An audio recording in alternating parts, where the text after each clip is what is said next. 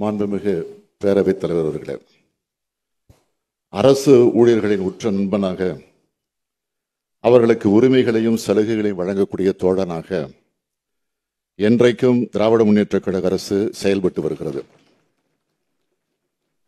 பேரறிஞர் அண்ணா முத்தமிழறிஞர் கலைஞர் ஆகியோர் தலைமையில் நடைபெற்ற அரசுகள் அறிவித்த செயல்படுத்திய அரசு ஊழியர்களுக்கான நலத்திட்டங்கள் எண்ணற்றவை. இந்த நாட்டிற்கே வழிகாட்டுபவை.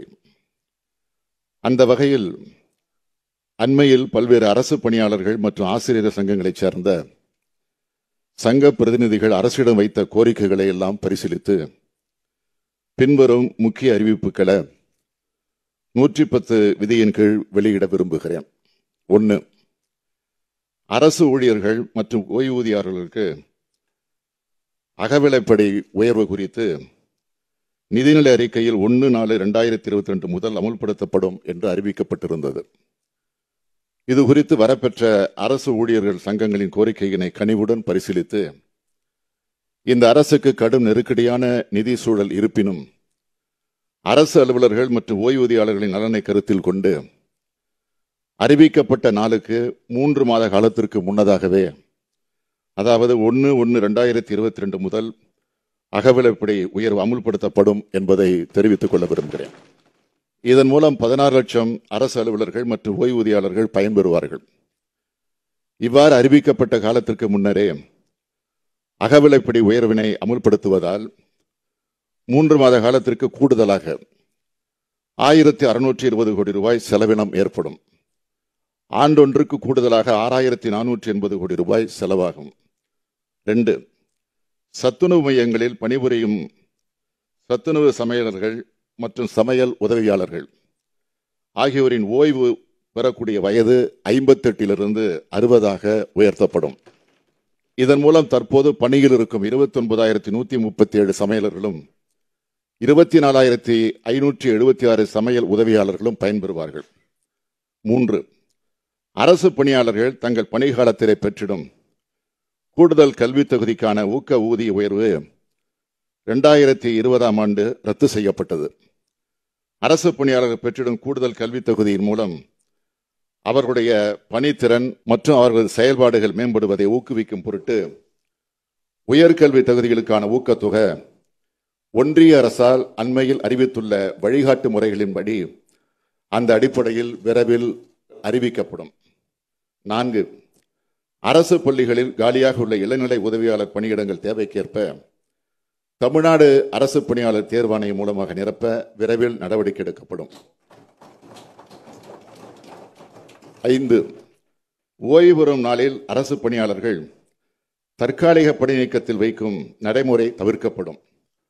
ஆறு ரெண்டாயிரத்தி பதினாறு ரெண்டாயிரத்தி பதினேழு மற்றும் ரெண்டாயிரத்தி பத்தொன்பது ஆகிய ஆண்டுகளில் முந்தைய அரசுக்கு எதிராக அரசு ஊழியர்களை நடத்திய வேலை நிறுத்த போராட்டங்கள் தொடர்பாக பல்வேறு சங்கங்கள் தங்கள் வேலை நிறுத்த காலம் மற்றும் தற்காலிக பணி நீக்க காலத்தின பணிக்காலமாக முறைப்படுத்த வேண்டும் என கோரிக்கை வைத்திருக்கிறார்கள்.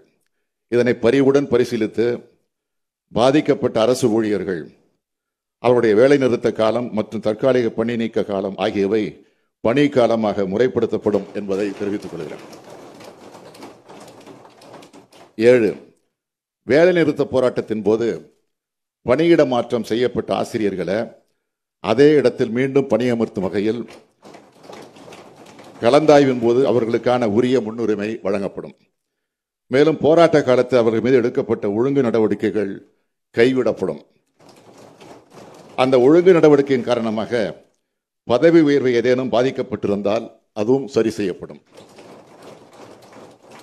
எட்டு பணியில் இருக்கும்போது காலமான அரசு பணியாளர்கள் வாரிசுதாரர்கள் கருணை அடிப்படையில் அரசு பணி பெறுவதில் உள்ள நடைமுறை சிக்கல்களை நீக்கும் வகையில் கருணை அடிப்படையிலான நியமனங்கள் குறித்து தற்போது நடைமுறையில் உள்ள தெளிவின்மையை சரி செய்யும் வகையில் உரிய வழிகாட்டு நெறிமுறைகள் வெளியிடப்படும். ஒன்பது அரசு பணியாளர்களுக்கான மருத்துவ காப்பீட்டு திட்டத்தின் கீழ் அரசு ஊழியர்களை சார்ந்து வாழும் மகன்கள் மற்றும் மகள்கள் ஆகியோரை அவர்களது வயது வரும் என கருத்தில் கொள்ளாமல் இத்திட்டத்தின் கீழ் பயன்பெறும் வகையில் ஆணைகள் பிறப்பிக்கப்படும். மேலும் அரசு ஊழியர்கள் இத்திட்டத்தின் கீழ் இடர்பாடுகள் ஏதுமின்றி பயன்பெற ஏதுவாக அவர்களுக்கு உதவிடும் வகையில் ஒருங்கிணைந்த தனி தொலைபேசி உதவி மையம் ஹெல்ப் டெஸ்க் ஒன்று அமைக்கப்படும்.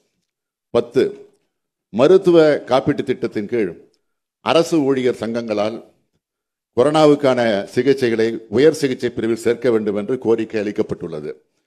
கொரோனா சிகிச்சைகளை பொறுத்தவரையில் அரசு அலுவலர்கள் மற்றும் ஓய்வூதியர்களுக்கான மருத்துவ காப்பீட்டுத் திட்டத்தில் அனுமதிக்கப்பட்டுள்ள சிகிச்சை தொடர்பான பத்து லட்சம் ரூபாய் விடவும் கூடுதலாக கொரோனா சிகிச்சைக்கான செலவு தொகை அரசு நிதி உதவியின் கீழ் அனுமதிக்கப்படும். பதினொன்று கணக்கு மற்றும் கருவூலத்துறையின் பணிகளை எளிதாக மேற்கொள்ளக்கூடிய பொருட்டு அவை துரிதமாகவும் எளிதாகவும் செயல்படுத்தக்கூடிய வகையில் மாவட்டந்தோறும் பயிற்சியாளர்களுக்கு உரிய பயிற்சி அளிக்கப்படும். பன்னெண்டு புதியதாக அரசு பணியில் சேரும் அரசு பணியாளர்கள் மற்றும் பதவி உயர்வு பெறும் பணியாளர்களுக்கு பணி தொடர்பான பயிற்சியினை அந்தந்த மாவட்டங்களிலே வழங்குவதற்கு நடவடிக்கை எடுக்கப்படும்.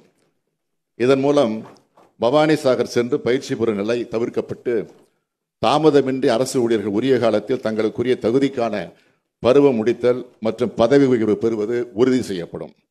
பதிமூன்று அரசு பள்ளிகளில் மாணவர்களின் சேர்க்கை அதிகரித்துள்ளதால் ஆசிரியர் மாணவர் விகிதாச்சார தேவைக்கேற்ப ஆசிரியர் பணி நியமனம் மேற்கொள்ளப்படும்.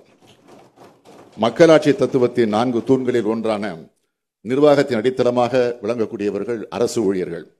அவர்களது நலனில் எப்போதுமே அக்கறை கொண்டு அவர்கள் நியாயமான கோரிக்கைகளை இந்த அரசு படிப்படியாக நிச்சயமாக உறுதியாக நிறைவேற்றும் என்று தெரிவித்தார்